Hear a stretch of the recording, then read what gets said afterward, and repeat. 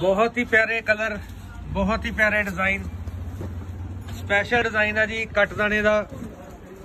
Front ਤੇ ਸ਼ੀਸ਼ੇ ਦਾ work ਕੀਤਾ ਹੋਇਆ ਜੀ ਆਊਟਿੰਗ ਦੇ ਨਾਲ। ਘੇਰਾ ਬਹੁਤ ਹੀ ਪਿਆਰਾ ਹੈ ਜੀ।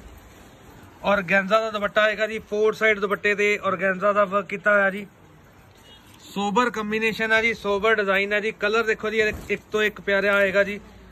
ਬਲੂ ਦੇ ਨਾਲ ਸਕਾਈ ਬਲੂ ਕਲਰ ਦਾ ਕੰਬੀਨੇਸ਼ਨ ਹੈ ਜੀ। ਬਲੂ ਦੇ ਨਾਲ ਸਕਾਈ ਬਲੂ ਕਲਰ ਦਾ ਕੰਬੀਨੇਸ਼ਨ ਹੈ ਜੀ, ਦੁਪੱਟਾ ਦੇਖੋ ਜੀ, ਬਹੁਤ ਹੀ ਪਿਆਰਾ ਜੀ। ਕੱਟ ਦਾਣੇ ਦੇ ਵਰਕ ਦੇ ਨਾਲ, ਅਗਲਾ ਆ ਗਿਆ ਜੀ ਬਲੈਕ ਦੇ ਨਾਲ ਗ੍ਰੇ ਕਲਰ ਦਾ ਕੰਬੀਨੇਸ਼ਨ ਬਲੈਕ ਦੇ ਨਾਲ ਗ੍ਰੇ ਕਲਰ ਦਾ ਕੰਬੀਨੇਸ਼ਨ ਹੈ ਜੀ, ਬਹੁਤ ਹੀ ਪਿਆਰਾ ਔਰਗੈਂਜ਼ਾ ਦਾ ਦੁਪੱਟਾ। ਹੈ ਕ੍ਰੇਪ ਫੈਬਰਿਕ ਹੈ ਜੀ ਔਰਗੈਂਜ਼ਾ ਦਾ ਦੁਪੱਟਾ। ਲੋ ਜੀ, ਅਗਲਾ ਆ ਗਿਆ ਜੀ ਵਾਈਨ ਕਲਰ ਬਹੁਤ ਹੀ ਪਿਆਰੀ ਰੇਂਜ ਬਹੁਤ ਹੀ ਪਿਆਰਾ ਡਿਜ਼ਾਈਨ ਦੇਖੋ ਜੀ। ਵਰਕ ਸਟਾਈਲ ਦਾ ਬਹੁਤ ਹੀ ਪਿਆਰਾ ਹੈ ਜੀ। ਇਦਾਂ ਦੇ ਡਿਜ਼ਾਈਨ ਦੇਖਣ ਲਈ ਸਾਡਾ ਪੇਜ ਲਾਈਕ ਕਰ ਸਕਦੇ ਹੋ ਜੀ। Purple colour black colour navy blue ਤੇ ਗ੍ਰੀਨ